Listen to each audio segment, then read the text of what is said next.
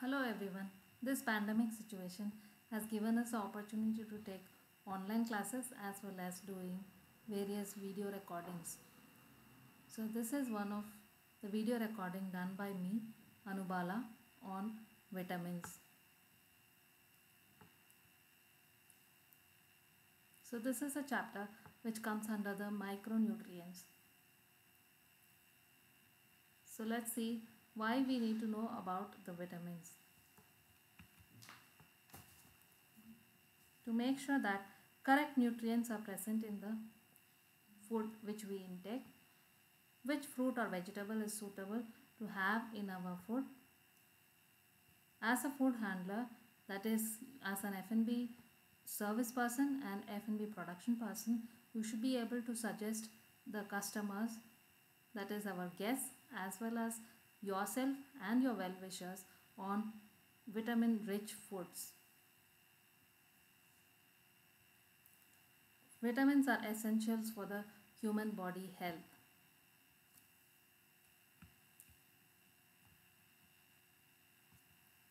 Now coming to the introduction of the vitamins, before going to the introduction of the vit- vitamins, I want to tell you about the classification of nutrients. Nutrients are further classified into two major categories. Number one is macronutrients and number two is micronutrients. This is based on the consumption of the nutrients which is present in the food.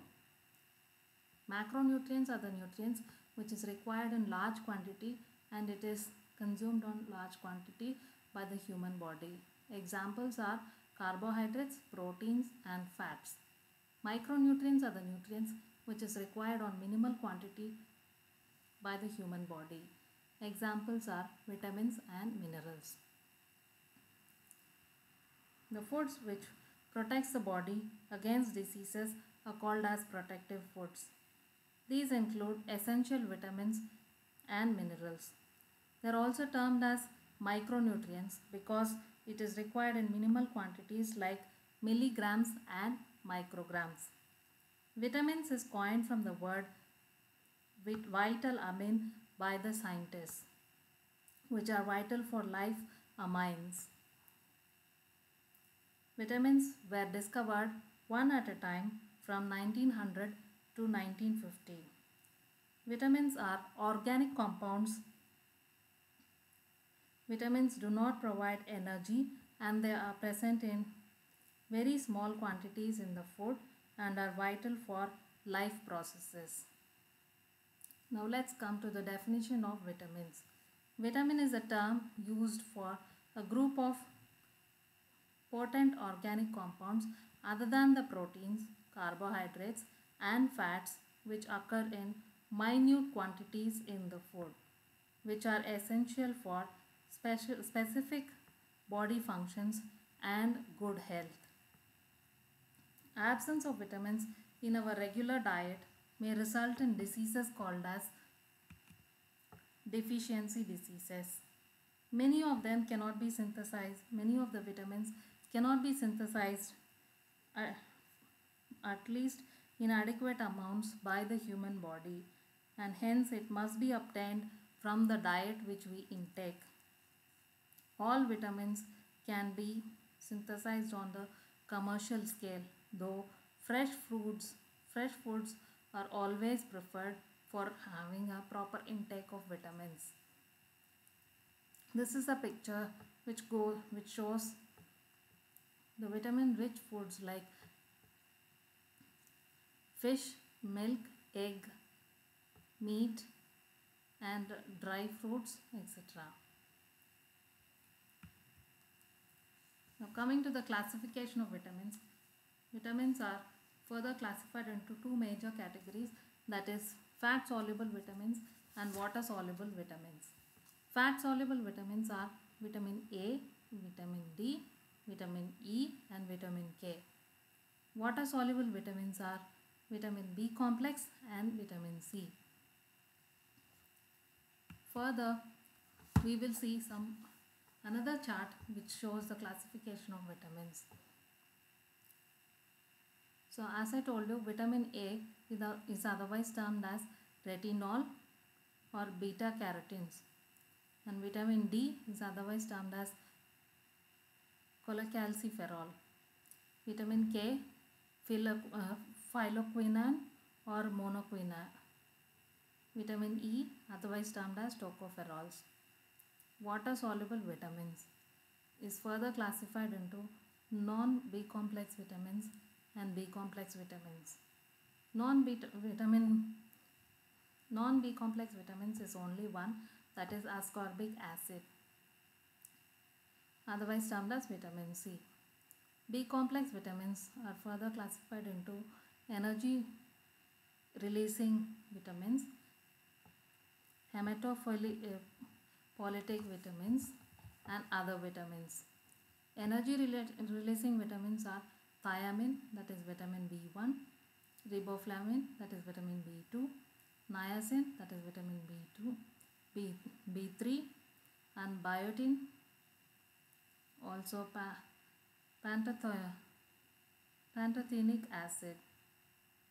Hematophilic acid that is folic acid and vitamin B12 other vitamins include pyridoxine pyridoxal and pyridoxamine so this is another small chart which shows the classification of vitamins now let's see the fat soluble vitamins in a detailed note. Fat soluble vitamins, as the name indicates, it requires fat for their absorption. Vitamin A, vitamin D, vitamin E, and vitamin K comes under the fat soluble vitamins. They require fat for their absorption and can be stored in the human body. If their intake is poor, but the body stores are ample, deficiency symptoms will not be seen immediately. This is because the fat soluble vitamins are present in the human body in the fats itself and hence the symptoms of deficiency is not seen when there is less even less intake of these vitamin A, D, E and K. Fat soluble vitamins are associated with they are not easily destroyed by ordinary cooking methods.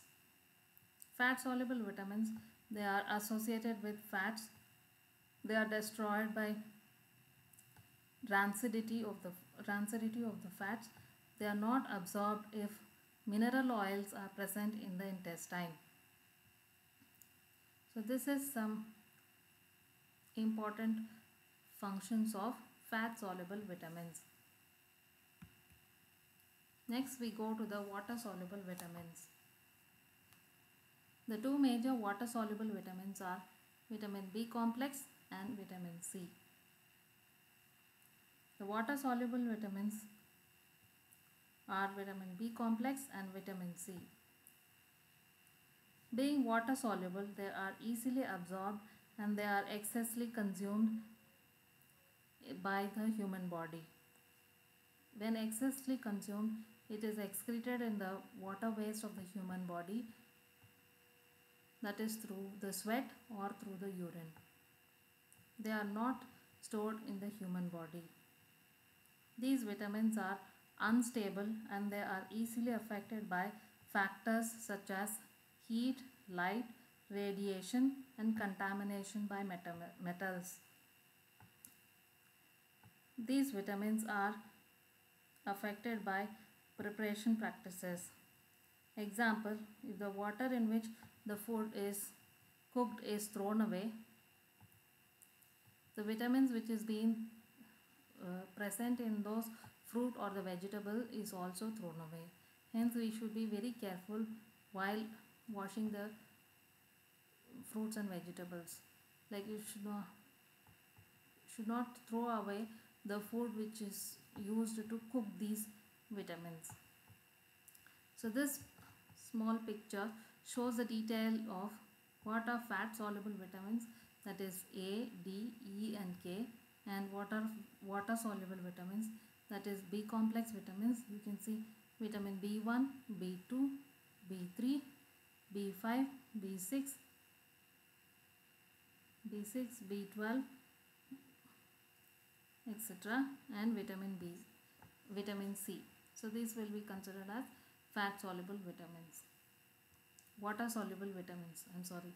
These are considered as water soluble vitamins.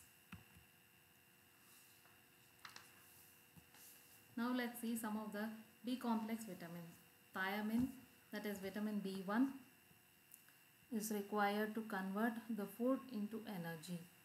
Riboflavin otherwise termed as vitamin B2 required to synthesize RBC that is red blood corpuscles and cell growth. Niacin is required for cardiovascular health. Pyridoxine for vitamin B6 otherwise termed as vitamin B6 for healthy brain function. Pantothenic acid is used for supporting the metabolism in the human body. Biotin used for skin, hair and nail growth. Folic acid for healthy nervous system and cyanocobalamin that is vitamin B12 otherwise termed as vitamin B12 for the nerve function and development. It helps to produce DNA also. So these are some of the vitamin B complex vitamins.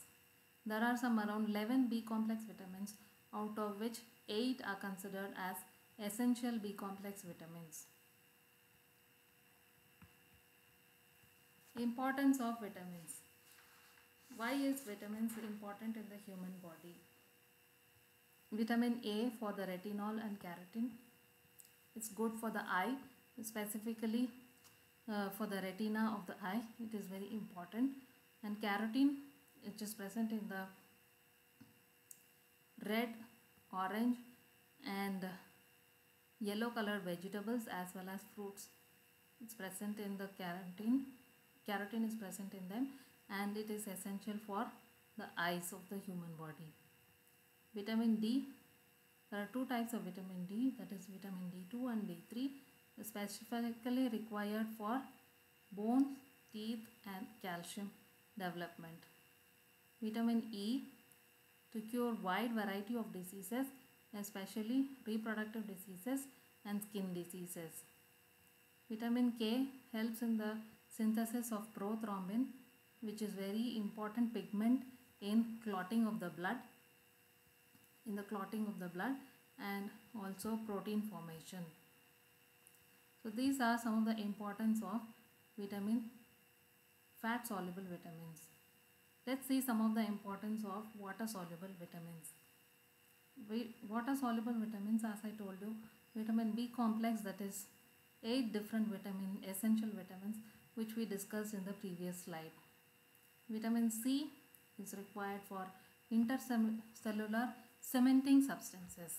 You call it as cementing substances because it is very much essential in case of injury which has happened to the human body or any disease which is caused in the human body. So intercellular cementing substance which is required to cure the injuries quickly is present in vitamin C. Hence vitamin C intake is very essential in case of any injury which has happened to the human body.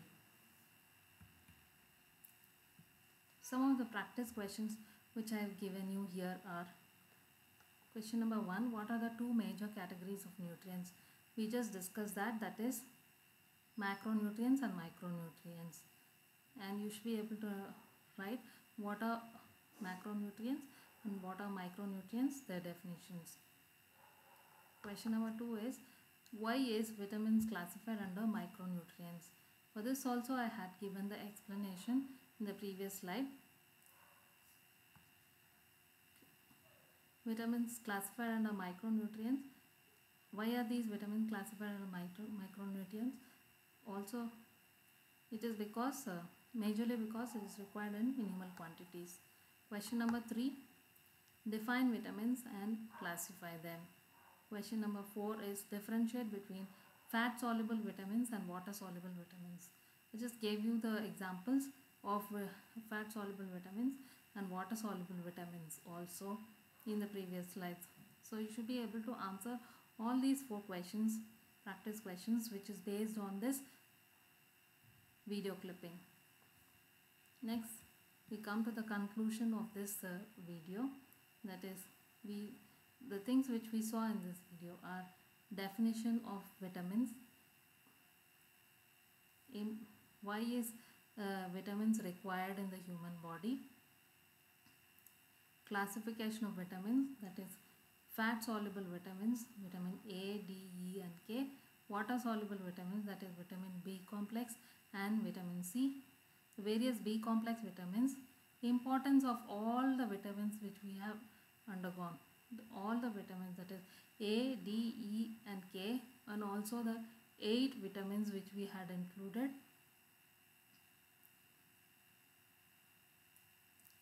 Plus the vitamin C that is ascorbic otherwise termed as ascorbic acid. Some of the practice questions also we had discussed. So please do the practice questions also.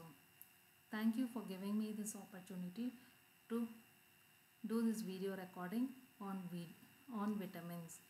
Also, I will be explaining about the various vitamins in detail in the forthcoming chapters of the vitamins.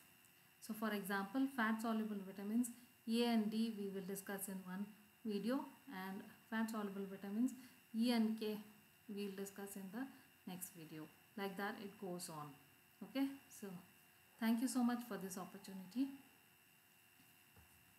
and I conclude my class here